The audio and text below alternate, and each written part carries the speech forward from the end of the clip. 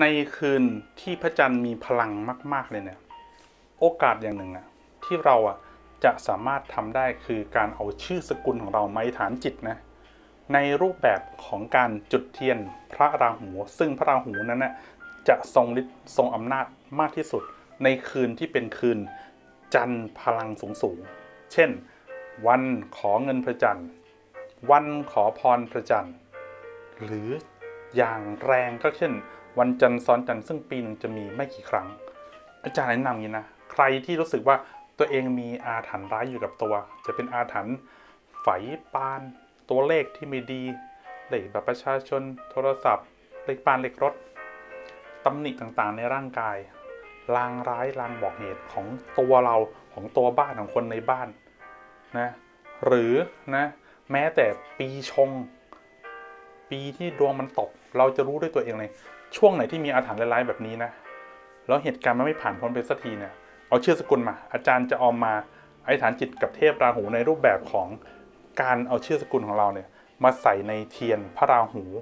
ที่เป็นราหูคู่บารมี ที่บารมีท่านแรง เพราะว่าท่านจะช่วยปัดเป่าสิ่งที่เป็นลางร้ายออกไป แล้วถ้าเกิดใครต้องแข่งขันกับคน ต้องการความเป็นที่หนึ่งนะ พออุปสรรคหายไปแล้ว จะมีความเป็นพี่หนึ่ง ซึ่ง มีลักษณะของพลังสูง ราหูคู่บารมีสีดำแบบนี้สำหรับคนที่อยากจะแก้อาถรรพ์และอยากเป็นที่หนึ่ง ส่วนใครบอกอยากจะแก้วิกฤตทั้งเรื่องของความรัก ให้ความรักเนี่ยเป็นความรักที่สุขสมหวังแล้วก็กลับคืนมาอย่างดี หลายคนบาดหมางกันไปในช่วงที่ผ่านมา อยากให้ความรักกลับคืนมาเป็นอัศจรรย์ อยากเป็นที่หนึ่งในหัวใจ ให้ใช้นะชื่อสกุลเราแล้วขอให้อาจารย์ทำราหูที่เป็นราหูคู่รักแบบนี้ สีแดงเนี่ยเป็นตัวแทนของความรัก ส่งผลส่งพลังคำอธิษฐานจิตด้านความรักโดยตรง แต่ถ้าใครบอกอาจารย์ เวลาที่อธิษฐานจิตกับเทพราหูเนี่ยมักจะขอพรเรื่องของการเงินการทองโดยตรง อยากด้วยที่สุดเลย ให้แจ้งอาจารย์ว่าชื่อสกุลของเราที่ส่งมาน่ะขอจุดเทียน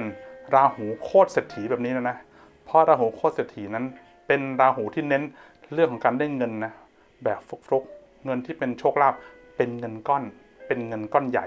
เป็นเงินที่จะทำให้เราเนี่ย เปลี่ยนชีวิตไปได้ เพราะว่าเวลาขอพรเทพราหูขอให้เปลี่ยนชีวิตพลิกชีวิตท่านถนัดนักแลนี่คือเคล็ดลับสำหรับคนที่อยากจะส่งชื่อสกุลมาทำเทียนราหูในฤกษ์ที่มีพลังทำได้ทุกวัน แต่วันไหนที่พระจันทร์มีพลังนะอย่าลืมนะส่งชื่อสกุลมาจุดเทียนราหู ขอให้คนที่รู้สิ่งนี้ได้รับโอกาสนั้น และคว้าโอกาสนั้นไว้ เพื่อชีวิตเจอแต่ความสุขความเจริญรุ่งเรืองความสำเร็จในที่สุด